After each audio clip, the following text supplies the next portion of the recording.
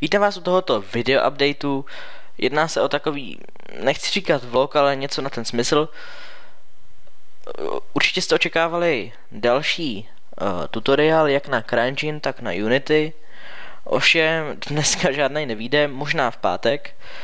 Jediný, důvod jediný, nemám vůbec čas, akorát stihnu na, nahrát tady ten tady ten vlog a nemůžu nic dělat. Navíc, když uh, natáčím třeba z CryEngine nebo z Unity, případně teď můžu začít ještě s Unreal Engine 4, tak eh, nějaký, nějakou dobu trvá vlastně celková editace a zároveň potom i render toho videa. Tu si to vždycky protáhne potřebuji si vyhradit hodně, uh, hodně velký čas. Nicméně, jo, můžete se očekávat další tutoriály. Uh, zároveň jsem se začal učit něco s Blenderem, vypadá to docela v pohodě, můžu taky začít tutoriály dělat. Ovšem, mám toho hodně rozdělanýho, jo, takže mám tady CryEngine, mám tady Unity, mám tady Unreal Engine 4 a mám tady Blender z těch čtyřech uh, softwarů, z těch čtyřech programů, aplikací, tak můžete očekávat ode mě v budoucnu tutoriály. Teď konc hlavně asi hlavně nevím co, ale uvidím, co natočím dál. Mm, fakt na tom si myslím, že nezáleží. Možná, že natočím ještě jeden poslední dodatečný z CryEngineu, protože se pár lidí ptalo na různé otázky, které v tom můžu zodpovědět a ukázat, jak se dělají. Pak můžu samozřejmě pokračovat s tím FPSkem v Unity, anebo i s tím, eh, s tím Unreal Engine 4, který je opravdu super. Můžu ho, myslím si, že i ukázat eh, na videu. Jenom tak na chvilku, jak to vypadá a že to skutečně funguje. Takže chvilku počkáme, než se to načte.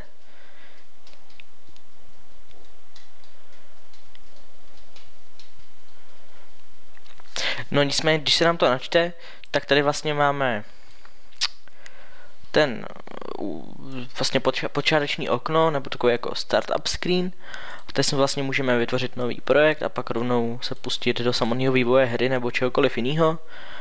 Eh, zároveň pokud někteří z vás, věřím, že to bude většina těch, co se na mě koukají, což budou takový, nechci někoho urazit, ale spíš takový mm, ty mladší diváci nebo případně někdo, kdo nemá s tím žádné zkušenosti a tak, takže neví, do čeho se v budoucnu bude pouštět, protože já jsem zatím žádný skriptování v Unity nebo takhle neukázal a myslím si, že jak uvidějí jenom blbej, blbý řádek uh, kódu, takže se zhrozej a že se na to nakonec vykašlou.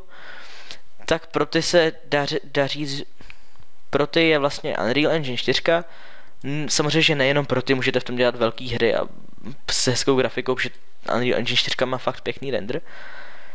Nicméně, já to možná, že i můžu ukázat, jak to vypadá. Já si načtu třeba... Začneme něčím jednoduchým.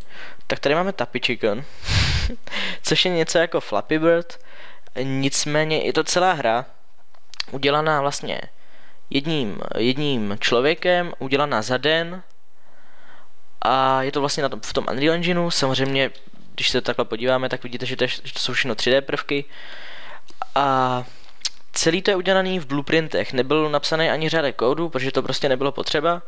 Můžeme se podívat na samotný blueprint, jestli ne. Tady je blueprint, hlavní hra. A takhle to vlastně vypadá. Je to vizuální skriptování, jako jsou flowgrafy v CryEngineu, nicméně tady to skutečně funguje. Funguje to vážně perfektně a celkově jednoduše. Třeba když, když si tady na něco cvaknu, teď něco jsem cvaknul, Uh, takhle to nefunguje. No to je jedno, každopádně, když si vytvoříte něco, řekněme, že si vezmeme takhle kostku, nebo co to je, tak ji máme označenou, vložíme si ji do našeho flowgrafu, kdyby to fungovalo, což nefunguje, takže si musíme vzít tu kostku odsud, takhle si ji přesunu, přesunu do toho. Teď my bychom tady měli být, mít ten box, pak se přitáhneme sem, chceme ten box, a vlastně, když takhle máte něco, tak potom můžete jednoduše vzít, a potom se vám tady zobrazí jediné věci, které s tím můžete udělat vlastně mm, s tou kostkou, jenom s tou kostkou. Neukazují se další věci, které nemůžete použít, protože to prostě nemůžete, takže to je super a ulehčující. A zároveň, jak jsem říkal, tak to funguje A není to tak jako v CryEngineu, že to občas funguje a občas ne. Nebudu dneska tady nic ukazovat, tohle to bylo všechno a děkuju a rozhodně jsem rád za kladní reakce na všechny moje dosavadní tutoriály. Takže děkuju a ahoj.